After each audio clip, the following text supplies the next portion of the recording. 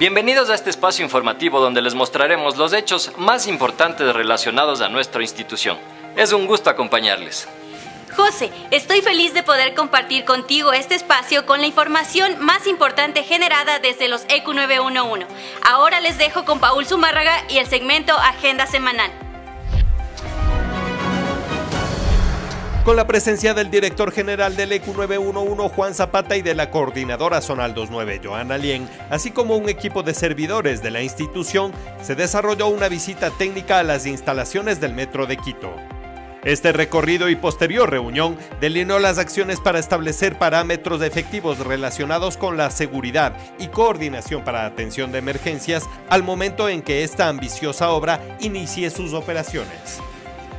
Es así como el EQ911 colabora constantemente a fin de que este sistema de transporte cuente con todas las garantías relacionadas con las competencias de la Central de Emergencias Ecuatoriana.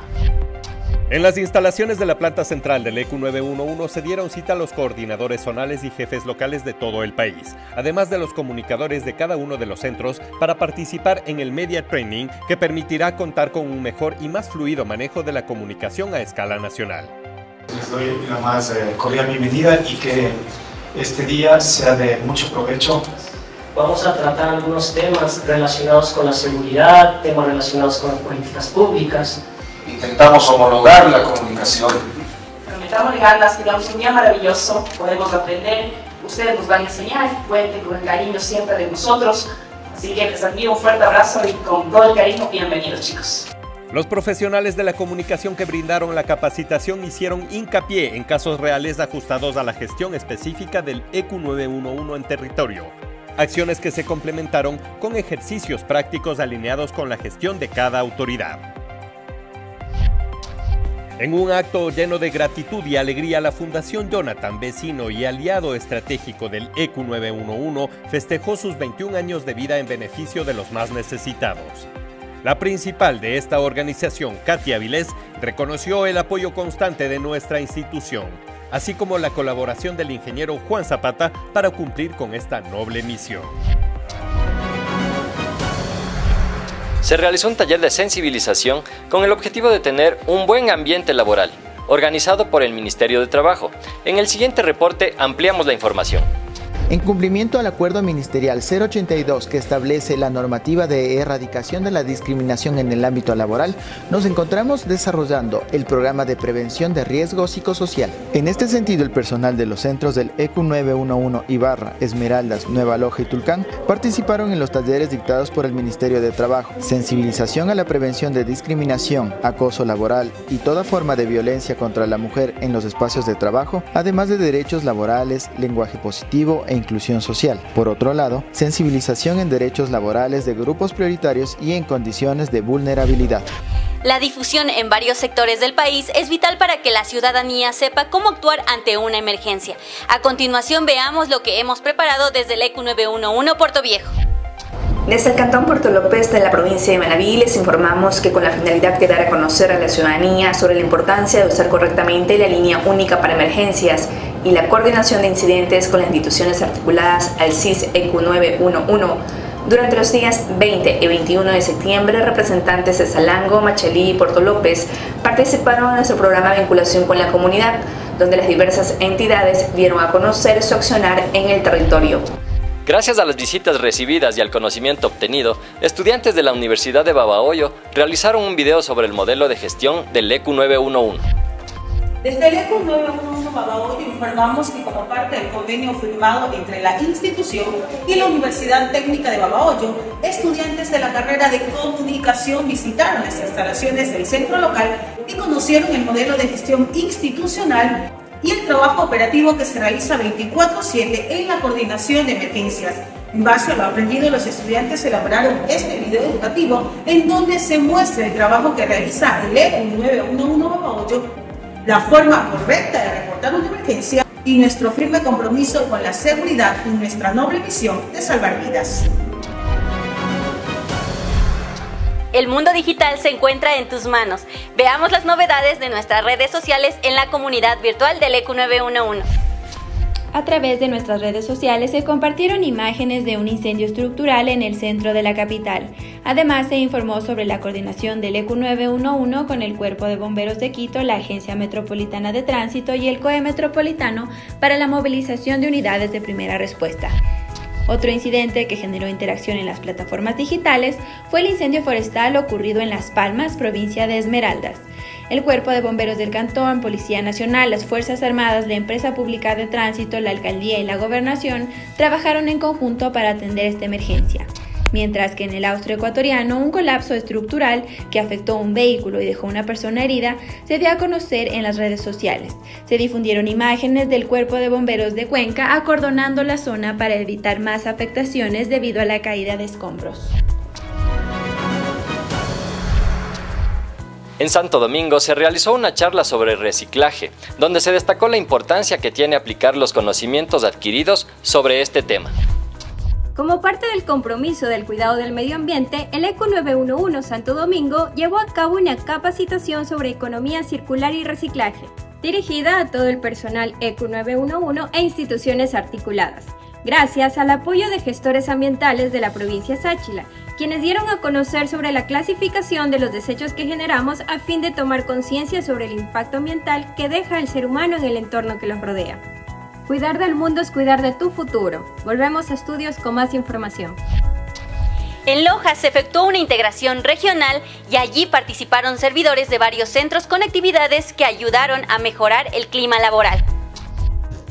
Compañeros, les cuento que en nuestra jurisdicción organizamos una integración que contó con la participación de los funcionarios de Loja, Machala y Zamora Chinchipe. De igual manera, muchos de ellos asistieron con sus familias. Esta actividad se la desarrolló con el objetivo de afianzar y fortalecer lazos de amistad y compañerismo, los mismos que servirán para mantener un mejor ambiente laboral. un día lleno de amistad, alegría, juegos tradicionales y mucha diversión, los funcionarios dejaron de lado las preocupaciones que la vida cotidiana nos genera y vivieron al máximo cada una de las actividades preparadas. Elena Cárdenas, jefa operativa local, entregó un recuerdo con bocadillos típicos de Loja. En varios puntos estratégicos del país se realiza la instalación de cámaras de videovigilancia para reforzar la seguridad integral de la ciudadanía. Saludos amigos, les contamos que con presencia de la ciudadanía y autoridades se efectuó la entrega de tres nuevas cámaras de videovigilancia por parte del GA de Guano al EQ 911 de Riobamba. Estos dispositivos serán instalados en sectores turísticos de este conocido cantón artesanal. En la ciudad de Gualaceo, a través de un evento, se realizó la entrega de nuevas cámaras de videovigilancia que se integran a la plataforma tecnológica del ECO 911. Conozcamos más a continuación. A través de la firma de un contrato de comolato, el GAD de Gualaceo entregó nueve cámaras de videovigilancia para reemplazar las instaladas previamente en todo el cantón. Estos equipos de última tecnología se mantendrán realizando monitoreo permanente las 24 horas del día desde el centro zonal EQ 911 Austro. Gracias a la gestión local del ECO 911 Tucán, el GAP parroquial de Urbina entregó una cámara de videovigilancia, la cual estará instalada en un lugar estratégico de esta parroquia para fortalecer la seguridad ciudadana. José, ¿sabes para qué es esto? Sí, me es algo familiar. Nuestros amigos del primer respondiente aprenden de los conocimientos impartidos por los instructores del taller que se desarrolla a escala nacional. Veamos la siguiente nota.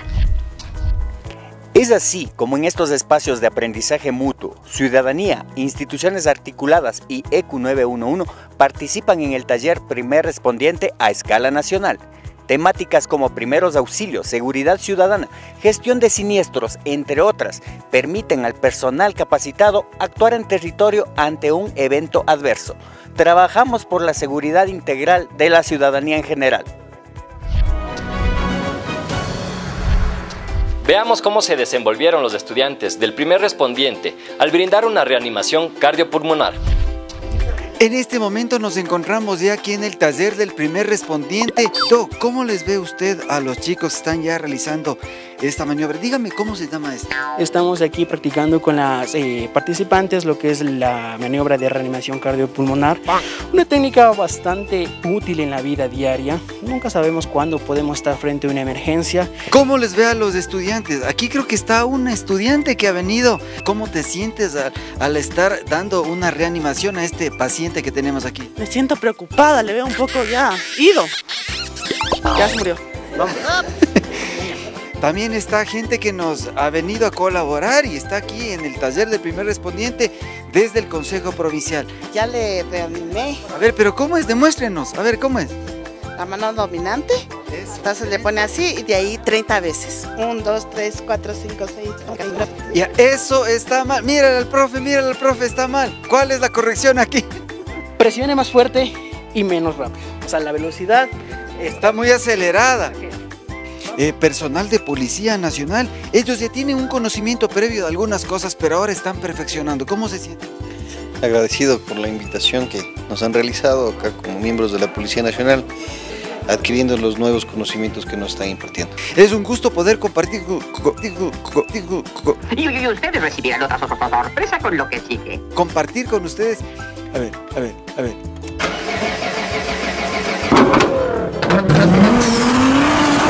Es un poder compartir con ustedes estas imágenes que están aquí a mis espaldas de los chicos aprendiendo. Por allá se me escaparon dos chicas también del Consejo Provincial, el Poder Femenino al ataque. Por allá también hay otro grupo de personas que están practicando y realizando. Entonces, desde aquí, desde el ECU 911, un saludo fraterno. Primer respondiente, arriba. Hasta aquí la información más importante de los centros a escala nacional. Mariuxi, ha sido un gusto compartir contigo este espacio. Hasta una próxima oportunidad. Igualmente, José, para nosotros es un gusto haber participado en este espacio de Ponte al Día. Nos vemos en una próxima emisión. Hasta pronto.